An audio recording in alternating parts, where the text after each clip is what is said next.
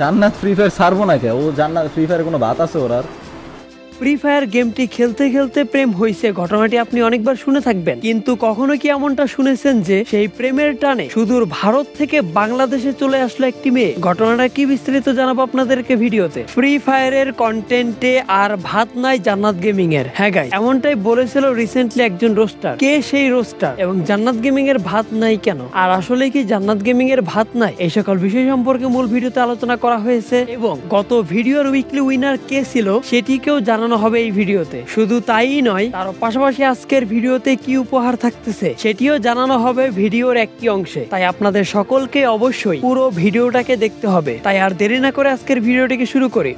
প্রথমে আমরা কথা বলব ফ্রি ফায়ারের মাধ্যমে গড়ে ওঠা প্রেমের টানে। ভারত থেকে কীভাবে একটি মেয়ে বাংলাদেশে চলে আসলো? বছর খানিক আগেও যখন আমরা ভারতের সাথে একই সার্ভারে, অর্থাৎ ইন্ডিয়ান সার্ভারে খেলতাম, এমন অবস্থায় ভারতের নদিয়ার শ্রীমতী সাথী সরকারের সাথে বাংলাদেশের কুষ্টিয়ার জেলার ওমর আলীর প্রেমের একটি সম্পর্ক গড়ে ওঠে। আর এতদিন যাবৎ তারা মূলত মোবাইলের মাধ্যমে তাদের এই প্রেমটাকে চালাতে থাকে। অবশেষে মেয়েটি তার দেশ ভারত ছেড়ে বাংলাদেশে চলে আসে। পরবর্তীতে যখন বিষয়টি সম্পর্কে জানাজানি হয়, তখন আইনি জটিলতা থাকার কারণে গত চার সেপ্টেম্বর সেই মেয়েটিকে ভারতে প্রেরণ করা হয়। অর্থাৎ তাকে বাংলাদেশে থাকতে দেওয়া হয় নাই। তবে এটা বলে রাখা ভালো যে, তাদের মধ্যে কিন্তু বাংলাদেশে বিয়ে সম্পন্ন হয়েছিল। জানা যায়, দুই হাজার একুশ সালের চোদ্দ নভেম্বর সাতক্ষীরা জেলার সীমান্ত দিয়ে প্রেমের টানে কুষ্টিয়ায় ওমর আলীর বাড়িতে যান সাথী। পরদিন কুষ্টিয়ার আদালতে নোটারি পাবলিকের মাধ্যমে ধর্ম পরিবর্তন করে নাম রাখেন সাথী খাতুন। সেখানে দুইজন বিয়েও করেন। সেপ্টেম্বর দুপুরে আইনি প্রক্রিয়া শেষে দর্শনা জয়নগর চেকপোস্ট দিয়ে তাকে ভারতে ফেরত পাঠানো হয়। তবে মূল প্রশ্ন হচ্ছে এত ঘটনা ঘটে যাওয়ার পরেও সেই মেয়েটি কি আবারও বাংলাদেশে ফিরে আসতে চায় কিনা? এমনটা জানতে চাওয়া হলে সেই মেয়ে জানায় যদি কখনো সুযোগ পায় তাহলে সে বাংলাদেশে আসবে এবং ওমর আলীর সাথে তার সাংসারিক জীবনকে অতিবাহিত করবে। নিজের দেশে ফিরে যাচ্ছে ওর সাথে কি সংসার করব? না যদি আসতে পারি তাহলে অবশ্যই। বর্তমানে ফ্রি ফায়ারের কন্টেন্টে ভাত নাই জান্নাত গেমিং এর রিসেন্টলি এমনই একটি মন্তব্য করে বসে লাইভে থাকাকালীন আইএম সজীব। মূলত একজন অডিয়েন্স কমেন্ট সেকশনে কমেন্ট করে, জান্নাত গেমিং তো রিসেন্টলি অন্যান্য গেম খেলতেছে, অর্থাৎ সে ফ্রি ফায়ার ছেড়ে দিয়েছে। এই বিষয়টির উপর এমন একটি মন্তব্য করেছিল। ভাই, জান্নাত তো এফএফ ছেড়ে দিল। জান্নাত ফ্রি ফায়ার ছাড়বো না কে ও জান্নাত ফ্রি ফায়ার কোনো ভাত আছে ওর আর? ফ্রি ফায়ারে এমন মানে দুচানি খাইছে লাইভে কিছু বলতাছি না। ও কোন মুখ নিয়ে থাকবে?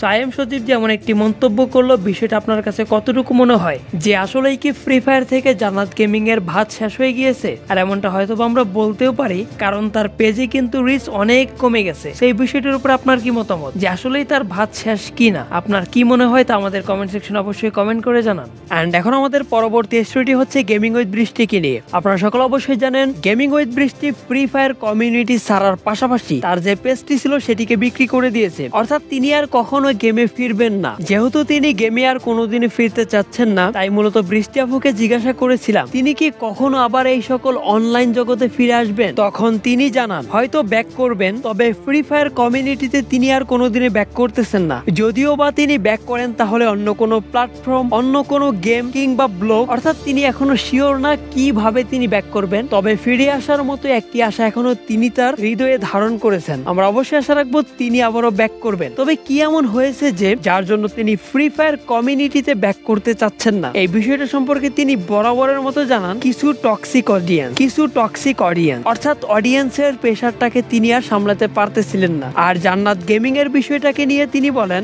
জান্নাত গেমিং তার ছেড়ে দেওয়ার মূল কারণ না। আমরা কেউ কখনো চাই না কারও কেরিয়ার এভাবে ধ্বংস হয়ে যায় সেটা যেই হোক না কেন। কারণ এই সকল কেরিয়ারগুলো কিন্তু আমাদের জন্য অনেকটা স্বপ্নের মতো। আর এই সকল স্বপ্নগুলো গড়ে তুলতে কিন্তু আমাদের প্রচুর পরিশ্রম করতে হয়। তাই অবশ্যই আপনারা বুঝতে পারতেছেন কতটা ধৈর্য হারালে একজন ব্যক্তি এত মারাত্মক একটি সিদ্ধান্ত গ্রহণ করতে পারে। তাই অবশ্যই তিনি ব্যাক করবেন এমন একটি আশা রেখে আমরা আমাদের পরবর্তী টপিকে যাই। এখন আসা যাক গিভ ওয়ের বিষয়টাকে নিয়ে। গত ভিডিওতে আমরা দুই দুইটি উইকলি দেওয়ার কথা বলেছিলাম, তবে এখানে আমি একটু অবাক হয়েছি। কারণ গত ভিডিওতে যে পরিমাণে আপনারা কমেন্ট করেছেন, তার অর্ধেক পরিমাণে আপনারা আমাদের ভিডিওতে লাইক পর্যন্ত দেন নাই। বিষয়টা অবশ্যই হতাশাজনক। তবে যাই হোক, যেহেতু আপনাদেরকে দেওয়ার কথা ছিল সেই অনুপাতে আপনাদের মধ্য থেকে দুইজনকে উইনার হিসেবে নির্বাচিত করা হয়েছে, যাদেরকে অলরেডি আপনারা আমাদের ব্যাকগ্রাউন্ডে দেখতেই পাচ্ছেন। আর এই সম্পূর্ণ বিষয়টা কতটা ফেয়ার ভাবে আমরা কমপ্লিট করেছি, সেটি যদি আপনি জানতে চান, সেক্ষেত্রে সেক্ষেত্রে ডিসক্রিপশন বক্সে আমাদের ফেসবুক পেজের লিংক দেওয়া রয়েছে। সেখানে আমরা কীভাবে আপনাদেরকে উইনার হিসেবে নির্বাচিত করেছি সেটি সম্পূর্ণ ভিডিও আকারে প্রকাশ করেছি। অর্থাৎ আপনার মনে যদি কোনো সন্দেহ থেকে থাকে, সেক্ষেত্রে আপনি সরাসরি ভিডিওটিকে দেখে নিতে পারেন। আর আরেকটা গুরুত্বপূর্ণ কথা, আমাদের সেই পেজের ভিতরেই কিন্তু ফ্রি ফায়ারের টপ আপ করানো হয়। আর যেখান থেকে আপনি ইউআইডি ইনগেম সহ সকল প্রকারের সুবিধাগুলো পেয়ে যাবেন। আর পেজের নাম পরিবর্তন দেখে ঘাবড়ানোর কিছু নাই। কারণ আমরা রিসেন্টলি পেজের নামটিকে পরিবর্তন করেছি যাতে আমরা প্রতিনিয়ত সেখানে ভিডিও আপলোড করতে পারি। আগে যেখানে ডিকে গেমিং স্টোর ছিল, সেটিকে পরিবর্তন করে বর্তমানে ডিকে গেমিং রেখেছি শুধুমাত্র এই কারণে তো যারা যারা ইন্টারেস্টেড রয়েছেন, তারা অবশ্যই আমাদের পেজ থেকে টপ আপ করাবেন। তবে আরেকটি কথা, আজকের এই ভিডিওতেও কিন্তু একটি উইকলি গিভওয়ে থাকবে। তবে সেক্ষেত্রে আমি আপনাদেরকে রিকোয়েস্ট করব যাতে আপনারা ভিডিওতে অন্তত one point five K like complete করেন। সেই আশা ব্যক্ত রেখে আজকের ভিডিওটিকে এখানেই শেষ করতেছি। আর পরবর্তী ভিডিও পর্যন্ত আপনাদের সকলে সুস্বাস্থ্য কামনা করে বিদায় নিচ্ছি। আল্লাহ হাফেজ সবাইকে।